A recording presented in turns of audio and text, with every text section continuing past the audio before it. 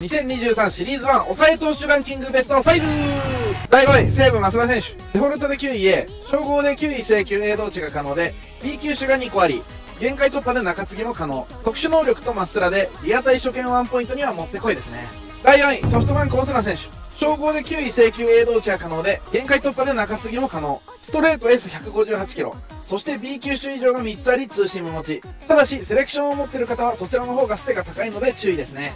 第3位、DNA 山崎選手。デフォルトで9位請求 A 同値で、B 級種が2個あり、限界突破で中継ぎができるのもいいですよね。以前よりリアタイの使い勝手はやや落ちたものの、未だにリーグでは強力ですね。第2位、楽天松井選手。デフォルトで9位 A84、B 級種以上が3つあり、フォーク A 変化量6、保有スライダー B 変化量6、スラーブ変化量4と変化球が超強力。おまけにタイプ持ち。しかし、エキサイティング版の方が強いので要注意ですね。1位はコメント欄に書きました。それでは、レッツポキー